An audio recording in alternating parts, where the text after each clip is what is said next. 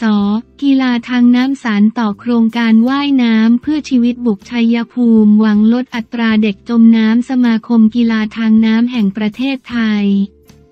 โดยพลเอกสิริชัย ดิษกุลอุปนายก พร้อมด้วยพลเอกเจริญนพสุวรรณเลขาธิการและอาจารย์เอกวัดลีเทียนผู้รับผิดชอบโครงการร่วมกับบริษัทปตทจำกัด มหาชน จัดโครงการว่ายน้ำเพื่อชีวิตโดยการนำสระว่ายน้ำไปหาเด็ก ประจำปี 2567 ต่อเนื่องเป็นครั้งที่สองของปีนี้ระหว่างวันที่ 20 มกราคมถึงวันที่ 2 กุมภาพันธ์ 2567 นะอาคารอเนกประสงค์โรงเรียนชุมชนชวนวิทยา ตำบลบ้านชวน อำเภอบำเหน็จนรงจังหวัดชัยภูมิด้วยวัตถุประสงค์เพื่อให้เด็กและเยาวชนมีทักษะในการเอาตัวรอดจากการจมน้ำ โดยเฉพาะในพื้นที่ชนบทที่ห่างไกล ไม่มีสระว่ายน้ำในการใช้ฝึกด้วยการนำสระว่ายน้ำไปให้เด็กเพื่อทำการฝึกสอนทักษะพื้นฐานในการว่ายน้ำซึ่งเป็นโครงการพิเศษเพื่อสังคมที่จะมาเปิดสอนให้เด็กๆ ตั้งแต่อนุบาลจนถึงเด็กโต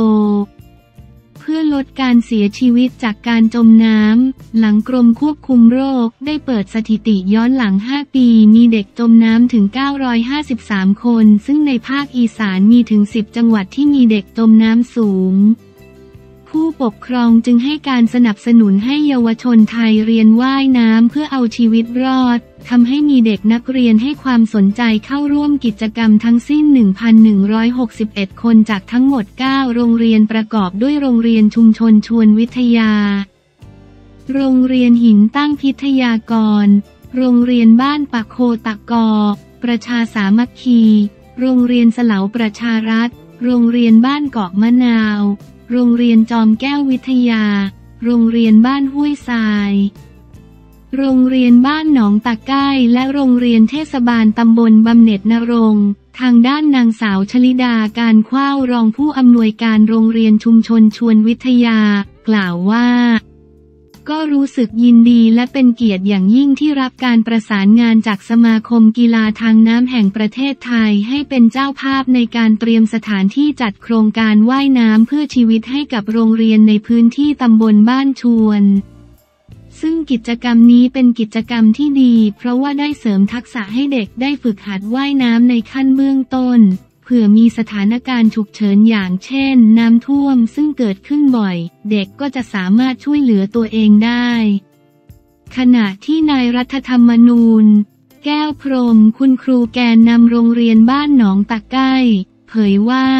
ต้องขอขอบคุณสมาคมกีฬาทางน้ำแห่งประเทศไทยที่ได้จัดโครงการว่ายน้ำเพื่อชีวิต โครงการดีๆ แบบนี้ขึ้นมาให้กับเด็กๆ ซึ่งในบริเวณรอบๆ โรงเรียนก็จะมีบ่อน้ำที่อาจจะเป็นอันตรายทำให้เป็นเรื่องที่ดีที่นักเรียนได้มาสร้างทักษะเอาตัวรอดไว้ใช้เมื่อเกิดเหตุฉุกเฉิน และอีกประเด็นคือถึงแม้นักเรียนบางคนอาจจะมีทักษะในการว่ายน้ำติดตัวอยู่แล้ว ทางทีมงานที่พี่คุณครูวิทยาที่เข้ามาสอนก็ยังได้สอดแทรกเทคนิคต่างๆ เพื่อขึ้นมาให้อีกด้วย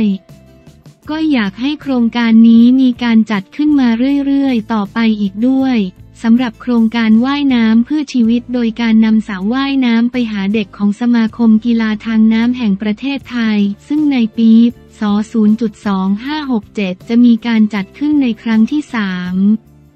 ระหว่างวันที่ 12 ถึง 17 กุมภาพันธ์ 2567 ที่สำนักงานเทศบาลบ้านช่องอำเภอพนมสารคามจังหวัดฉะเชิงเซาก้า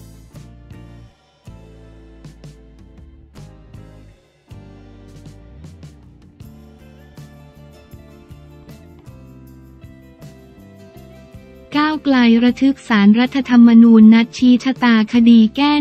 112 พรุ่งนี้เข้มความปลอดภัยสกัดกลุ่มป่วนก้าวไกลลุ้นระทึกสารรัฐธรรมนูญนัดชี้ชะตาคดีนโยบายหาเสียงแก้ไข 0.112 ล้มการปกครองหรือไม่เข้มความปลอดภัยวางรั้วเหล็กแม้ไร้เงาแกนนำพักเข้าฟังคำวินิจฉัย เมื่อวันที่ 30 มกราคม 2567 ผู้สื่อข่าวรายงานว่า การประชุมคณะตุลาการศารรัฐธรรมนูญ ในวันที่ 31 มกราคมเวลา 9 นาฬิกา 30 นาทีองค์คณะตุลาการศารรัฐธรรมนูญกำหนดนัดแถลงด้วยวาจาประชุมปรึกษาหารือลงมติและออกนั่งบัลลังก์อ่านคำวินิจฉัยในเวลา 14 นาฬิกา กรณีที่นายธีรยุทธ์สุวรรณเกษรอดีตทนายความอดีตพระพุทธอิสระ ขอให้สารรัฐธรรมนูญพิจารณาวินิจฉัยตามรัฐธรรมนูญ มาตรา 49 ว่าการกระทำของนายพิธาลิ้งเจริญรัตหัวหน้าพักก้าวไกลขณะนั้นในฐานะผู้ถูกร้องที่หนึ่งและพักก้าวไกลในฐานะผู้ถูกร้องที่สองเสนอร่างพระราชบัญญัติ พรบ แก้ไขเพิ่มเติมประมวลกฎหมายอาญา ฉบับที่ พศ เพื่อยกเลิกประมวลกฎหมายอาญามาตรา 112 โดยใช้เป็นนโยบายในการหาเสียงเลือกตั้งและยังคงดำเนินการอย่างต่อเนื่อง เป็นการใช้สิทธิหรือเสรีภาพ เพื่อล้มล้างการปกครองระบอบประชาธิปไตย อันมีพระมหากษัตริย์ทรงเป็นประมุขตามรัฐธรรมนูญมาตรา 49 วรรคหนึ่งหรือไม่ สำหรับมาตรการการรักษาความปลอดภัยโดยรอบอาคารราชบุรีดิเรกฤทธิ์อาคารเอซึ่งเป็นที่ตั้งของสำนักงานสารรัฐธรรมนูญ ยังคงยึดตามระเบียบสำนักงานสารรัฐธรรมนูญที่จะเป็นพื้นที่ควบคุมตามระเบียบสารรัฐธรรมนูญว่าด้วยการรักษาความปลอดภัยและความสงบเรียบร้อยในที่ทำการศาล พศ 2562 กำหนดห้ามผู้ใดเข้ามาในพื้นที่ควบคุม เว้นแต่ผู้ที่ได้รับอนุญาตให้มาปฏิบัติงาน หรือมาติดต่อราชการและต้องผ่านการตรวจตัวบุคคลและสิ่งของที่นำมาตามวิธีการของเจ้าหน้าที่ด้านการรักษาความปลอดภัยและความสงบเรียบร้อย